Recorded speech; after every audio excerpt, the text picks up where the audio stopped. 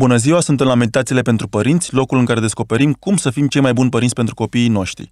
Eu sunt Alex și încerc să fiu cel mai bun tată pentru Marc și astăzi voi încerca să elucidez unul din marile mistere care mă urmărește de câțiva ani și anume cât de mare sau de mic trebuie să fie buchetul pe care îl duci doamnei învățătoare sau doamnei diriginte în prima zi de școală. Pentru a mă ajuta în rezolvarea acestui caz, L-am uh, invitat alături de mine pe profesorul Mihai Stamatescu. Salut, Mihai, bine ai revenit! Salut, bine te-am găsit!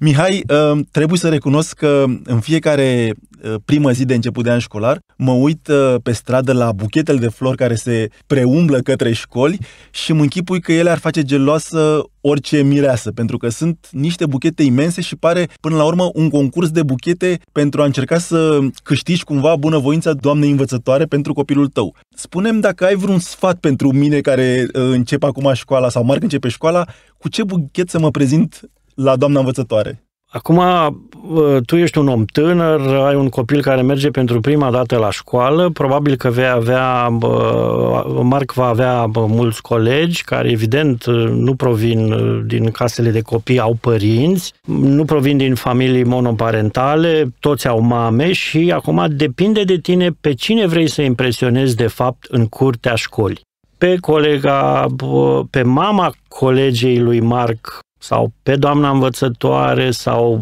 pe doamna directoare. E, e alegerea ta ce vrei să arate buchetul acela. Pentru că buchetul poate să exprime, așa cum spuneai, pe stradă, ok, o bucurie foarte mare atunci când ești mireasă, ă, sau poate să exprime indiferență, în familiile tradiționale se duc un buchet de flori și atâta tot, nu e niciun mesaj. Dar buchetul de flori poate să transmită un mesaj. Și atunci e alegerea ta, nu pot să te sfătuiesc. Ă, depinde ce vrei tu să ca obții. Tat, tu ca tată de uh, fost elev, cu ce fel de buchete duceai în prima zi de școală la uh, inaugurarea noi anului școlar, anului școlar da. copilor tăi? Eu am uh, șansa să fiu profesor și nu e nicio glumă aici uh, și în consecință copilul meu care învăța la altă școală se ducea la școală cu mama lui și n-am fost niciodată la școală cu copilul meu cu un buchet de flori pentru că eu trebuia să merg la școala mea să primesc eu buchetele de flori. Mai primești și bărbații câteodată buchete de flori la școală.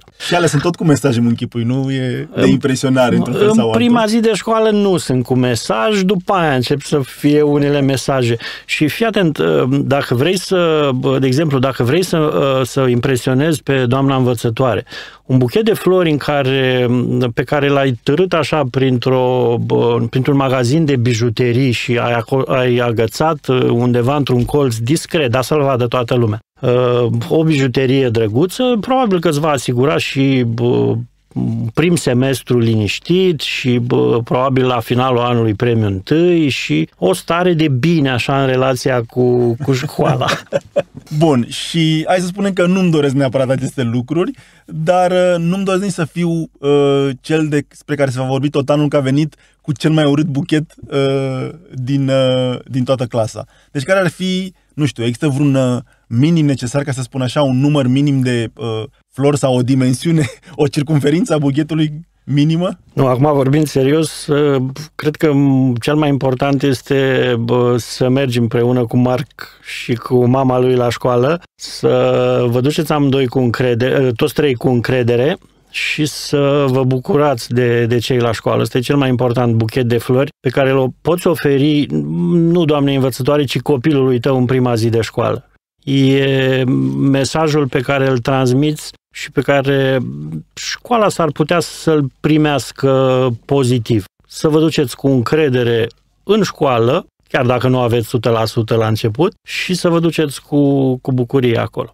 Mihai, mulțumesc frumos. Dragi părinți, l-ați auzit pe Mihai. Cel mai important este să mergem noi cu copilul la școală. Eu totuși vă recomand, dragi tați, să mergeți și cu un buchet de flori, ca să nu fiți de râsul întregii uh, curți. Vă reamintesc că dacă doriți să ascultați toate meditațiile, o puteți face oricând pe site-ul itibiții.ro și până data viitoare nu uitați să le spuneți în fiecare zi copiilor voștri cât de minunați sunt. Pa, pa!